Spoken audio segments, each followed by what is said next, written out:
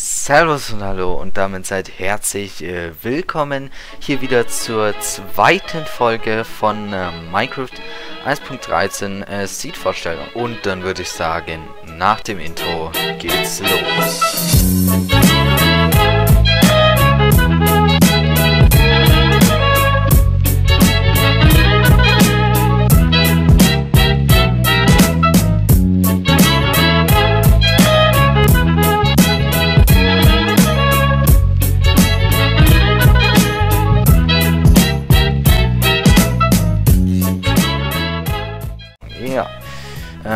Haben ja das letzte Mal wieder aufgehört, ähm, ja, wo wir vom, ähm, vom äh, Bruchsteinfarmen zurückgekommen sind. Aber ich denke mal, ähm, wir werden heute äh, keine Bruchsteinprobleme haben, denn wir gehen ja meinen. Übrigens, by the way, nicht wundern, ich habe heute mal einen andere, etwas anderen Skin und einen etwas anderen ähm, Shader auch drin. Man sieht es vielleicht. Und zwar ist das der wunderbare ähm, Sildos Vibrant Shaders in der Extreme Variante. Ähm, ich hätte noch den Enhanced Default, den kann ich kurz mal zeigen. Er ist für etwas äh, leistungsschwächere PCs, sage ich mal, weil man sieht es, es ist halt sehr an, das, äh, an den Default Shader angepasst mit ein paar Shadern und den ein oder anderen Effekt auf jeden Fall. Sag mal, ist es dein bester Freund oder was, das Schaf? Das arme Schaf, ich erlöse dich gleich. Oh Gott, richtiger, ich mieser. Ah, das ist der Kartograf, okay. Das heißt, äh, wir nehmen uns jetzt, also wir schnappen uns jetzt unseren Sildos Vibrant Shaders. Ähm, ja, was braucht man denn noch so zum einen? Ähm, wir haben Holz. Mich alles, was man so braucht. Oh, aber ich weiß, was ich vergessen habe umzustellen. Meine Render Distance auf 8 zu stellen. Sorry, hochprofessionell. Ich weiß, weil äh, für die Aufnahmen muss ich leider aktuell noch ähm, ja, die Render Distance auf 8 setzen, weil normalerweise äh, hat man vielleicht auch gesehen, spiele ich mit äh, Render Distance auf 15 und ja. Das heißt, wir gehen jetzt erstmal meinen. Oh, wir sollten uns davor vielleicht Fackeln machen. Aber ich denke mal, ja, so viele werden reichen für eine Höhleninspektion. Desinfektion Spaß. Ähm, so, wir müssen uns aber noch dringendst einen Schild craften, bevor wir runtergehen in die Höhle. Das heißt, wir nehmen uns hier wieder die Sticks und ähm, craften uns ein Schild, liebe Leute. Äh, nein. Oh, fuck. Äh, wir brauchen Eisen. By the way noch, das habe ich vergessen im letzten Video zu sagen. Falls ihr jetzt hier sowas habt, ganz viele Blöcke auf einmal, dann macht er einen Doppelklick mit der linken Maustaste und dann zieht es alle Blöcke ähm, auch aus dem Inventar zu einem ähm, ja, es zieht halt alles einfach her. Das heißt, hätten wir jetzt hier drei Eisen verteilt, doppelklicken wir einfach und dann haben wir das hier, ja. So. So viel dazu. Das heißt, ganz wichtig, macht die Inventaranordnung auch am besten so, wie ich sie habe. Ähm, das kann da ruhig stehen bleiben, so. Und zwar den ähm, Schild hier auf den dritten Slot, weil falls dieser Dorfbewohner jetzt ein Mob wäre, drücke ich einfach die Taste F, weil damit kann man den Gegenstand in den Händen wechseln. Nimmt das Schwert und kann so zum Beispiel, wenn das Skelett auf euch äh, schießt, blocken. Und wenn ihr den zum Beispiel getötet habt, machen natürlich jetzt nicht, ähm, dann geht, switcht ihr wieder auf den dritten Slot zu den Fackeln, drückt F zur Spitzhacke und dann könnt ihr weiter äh, erkunden. So, denn wir töten einmal kurz dieses Schwein hier. Oha, hochprofessionell. So, und zwar nehmen wir uns jetzt hier die Fackel, äh, äh, die Picke. Und ja, Ich weiß nicht, ähm, ob man das auf der Aufnahme gut sieht, weil auf YouTube hat man immer so eine Kackqualität in den Höhlen. Deswegen werde ich extrem gut für euch ausleuchten und ja. Gut. So viel erstmal dazu. Ähm, ja, letzte Folge ist ja auch einiges wieder passiert. Ähm, nur Minecraft ist halt sehr schwer auch zu Let's Playen und vor allem im, im Rahmen noch zu halten. Oha, ein Zombie höre ich wieder. Am Ende wird es wieder so ein Vorluftung. Bestes Beispiel.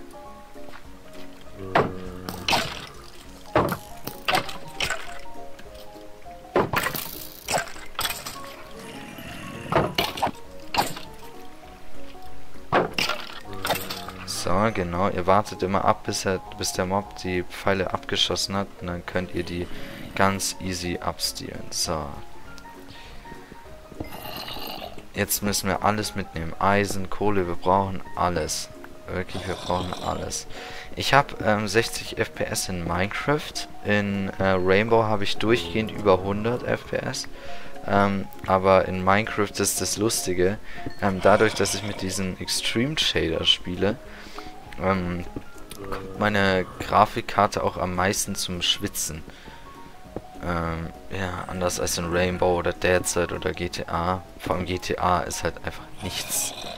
So, im Vergleich zu dem.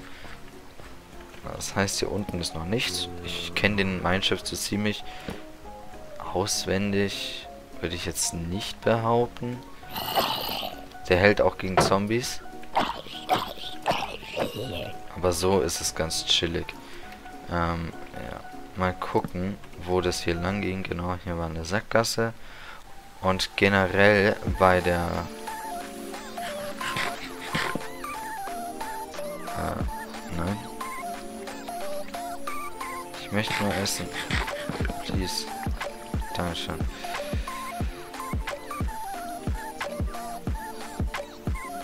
Oh Gott, ist mir hier langsam. Ich habe selber nicht mehr was gesehen. Ah gut, hier ist Eisen. Deswegen immer schön erkunden und ausleuchten. Weil viele würden jetzt sagen, hm, nimm doch den Zeus Shader, damit, damit bist du viel besser und so. Hey, Leute, Leute, ihr habt die allerwichtigste der wichtigen Fackelregeln dabei ähm, vergessen. Und zwar place die Fackeln immer aber auch wirklich immer rechts. Niemals irgendwie so, irgendwie sowas, sondern immer rechts.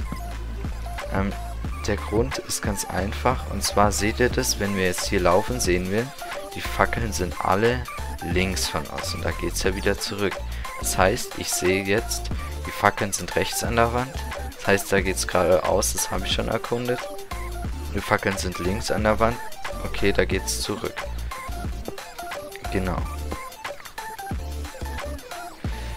Da, da gibt's auch gleich Diamanten hier unten. Äh, oh, Marc auch gleich gesagt. Äh, genau. Aber wir gehen erstmal hier lang.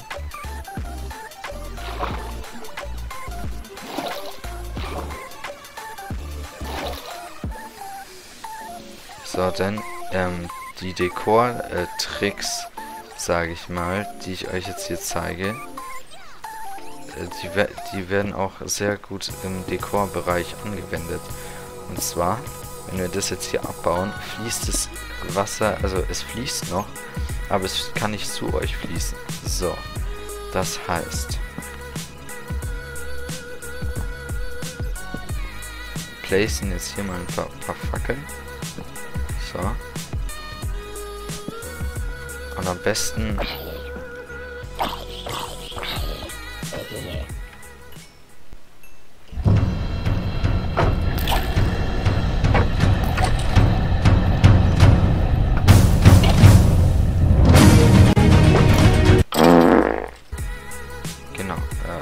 sorry, ihr seht kurz nichts.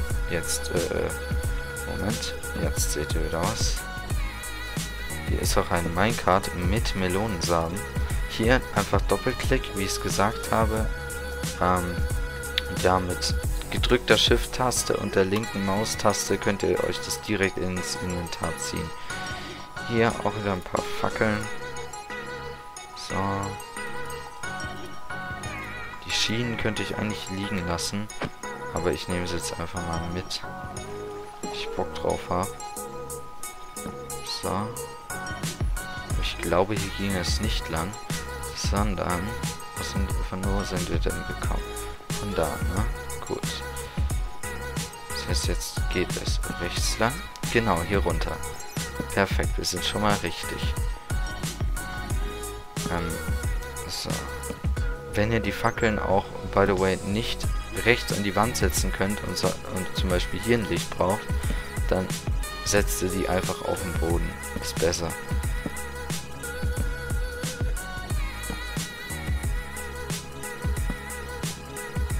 So, das heißt, jetzt nehmen wir uns mal hier die, das Eisen und die Kohle mit. Weil so eine Kohleader, wenn du die abgebaut hast, dann hast du erstmal einen Stack wieder. Ich weiß, ich weiß, Leute, Kohle abbauen ist echt nicht schön. Also, es ist halt verdammt, äh, verdammt aufwendig, aber traut mir macht's einfach. So, das ist auch noch ganz wichtig. Zu viel Eisen im Blut. Ja, das, das, das kann ich nur bestätigen. Ähm, ja, normalerweise würde ich jetzt mit meinem äh, normalen Enderman-Skin spielen, ähm, den ich vor sieben oder ich glaube acht Jahren äh, entwickelt habe, also selber designt. Ähm, habe ich über das Programm SkinSeed gemacht. Äh, Link dazu natürlich in der Videobeschreibung. Mhm. Ansonsten, ja, falls ihr die allererste Minecraft-Folge noch nicht gesehen habt, ich weiß, bester Zeitpunkt im Video, dann könnt ihr jetzt hier oben äh, rechts in der Infokarte klicken. Da habe ich euch die erste Folge auf jeden Fall nochmal verlinkt. Genau, so. Das heißt, zack, zack, zack und zack.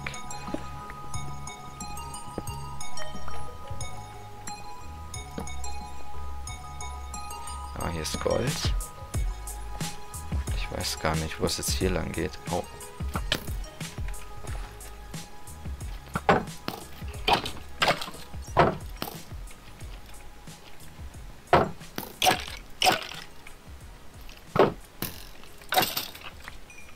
Sorry, ihr seht kurz nichts. Äh, jetzt. Oh, oh. Ich dachte mir heute mal wieder so, ja, nimmst du mal wieder gemütlich Minecraft auf, passt doch schon. Und ja, oh, wir haben es direkt gefunden. Easy. Aber wir müssen jetzt erstmal noch dieses Gold hier mitnehmen, was hier in der Wand hing. Sonst vergesse ich das noch. Oh, oh, oh, oh. Nur mit Eisen abbaubar. Ich Dummkopf. Das passiert, wenn man mehrere parallele Minecraft-Welten spielt und schon Full Iron ist. Naja, egal. Das heißt, wir placen da nochmal eine Fackel, dass da keine Monster spawnen können. Ich weiß, ich weiß, es kommen die Minecraft-Experten wieder. Ja, aber das muss da wieder so viele Blöcke sein und äh, diese Lichtverhältnisse haben und ja, geht euch einfach vergraben. Spaß. Aber wir gehen gleich darunter. Ähm, Zuerst holen wir uns nämlich hier das wunderschöne Gold ab. Ähm, ja. Generell könnt ihr den Seed einfach äh, auch in der Videobeschreibung finden. Da verlinke ich euch das Ganze nochmal.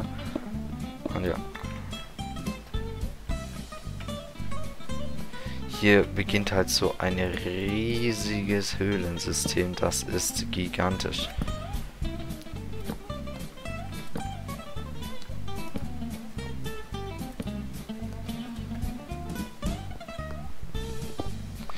Das finde ich halt echt schön bei dem Seed hier, dass ihr an der Stelle zum Beispiel eines der größten Höhlen, äh, zumindest noch in der 1.13, äh, finden könnt. Also das ist wirklich gigantisch groß.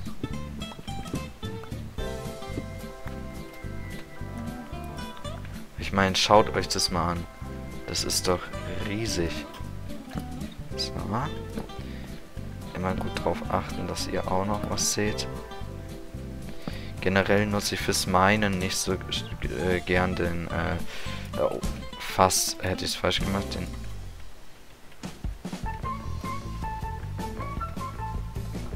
Ich glaube, ich habe ein Skelett gehört, aber ich glaube, ja, es war ein Skelett, aber habe es gerade nicht gefunden. So.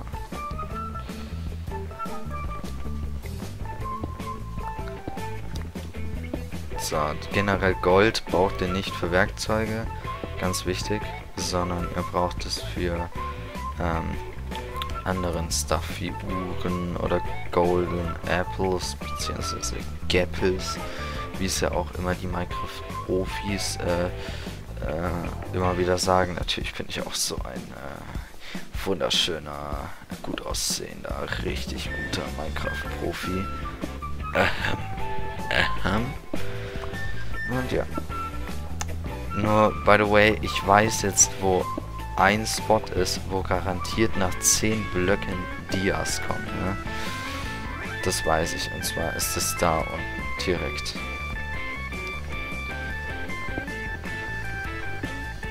Und ja. Ich werde da auch gleich meine Zauberkünste natürlich spielen lassen. Ihr werdet das gleich erfahren. Ähm, by the way, äh, könnt ihr mal unten in die Kommentare schreiben, wie ihr das Let's Play-Format von mir so findet. Ob ihr sagt, okay, der Schnitt ist gut. Nee, du sollst die Folgen wirklich uncut lassen, ohne irgendwas hinzugefügt, weggeschnitten, bla. Sondern dass du es wirklich uncut lässt. Ähm, aber by the way noch äh, bemerkt, ich habe auch letzte Folge, wo ich gecuttet habe, das einzigste Mal. Hier kurze Einblendung. Ich glaube, das war dann auch im Endeffekt mein Problem so ein bisschen. Ja, ich wollte den Seed einfach nicht verlieren. Also natürlich. Das war... Einen Moment, ich muss mich kurz konzentrieren beim Spitzhackencraften, ich weiß. Ähm, ja, da, da habe ich einfach nur diese neun Blöcke weggekattet, wo ich zum Bett gelaufen bin. Und das war's auch. Also, ich schneide da jetzt nicht irgendwie richtig geile Momente oder so weg. Äh, ich bin da schon, schon ehrlich zu euch, ja, stimmt. Schon einen sehr ehrlichen YouTuber habt ihr da. So, Redstone ist da auch. Wie viel, wie viel Eisen haben wir eigentlich aktuell? 54, das ist gar nicht mal so viel aber immer noch besser als nichts, ne? Es könnte es schlimmer sein, liebe Leute. Oh. Zack, zack, zack. Redstone ist auch gut zum Levelfahren. Zwar nicht so krass wie Quarz. Also Quarz ist nochmal eine Stufe krasser. Aber Redstone kommt eh so viel raus. Das ist geisteskrank, wie viel da immer rauskommt. Aber gut. Äh, scheiße, wir haben uns keinen Eimer gemacht. Ja gut, dann äh, machen wir uns jetzt hier mal eine kleine Base auf. Dass wir auch ähm, demnächst nur noch mit Eisen abbauen. Ähm, und nicht mit diesem Steinkack hier. Äh.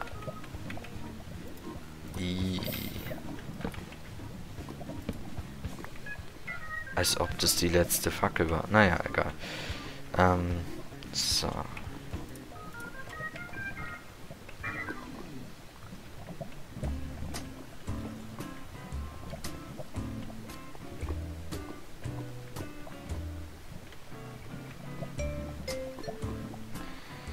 Aber wir warten kurz, schon vier Eisen, das passt für uns. Wir brauchen ja nur 1, 2 und 3. Gut, dass wir hier in der Nähe auch eine Wasserquelle haben. Da drüben. Ähm, zack, ne, zack.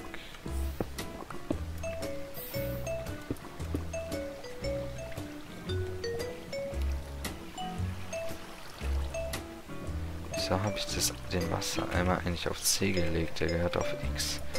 Die Schiene gehört ins Inventar. So. Ja, schön.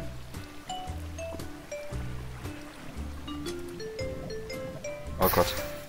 Alter. Habt ihr das gerade gesehen? Richtiges Standbild hier.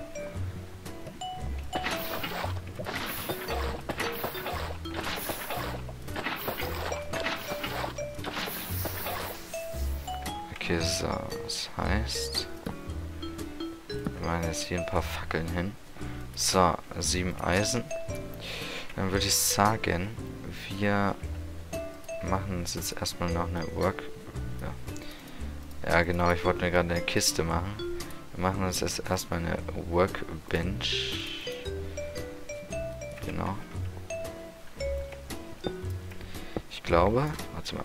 Eins, zwei, drei, vier, fünf, sechs, sieben, acht, neun. And his name is John C. Oh mein Gott, ich hab Dias gefunden. Yeah.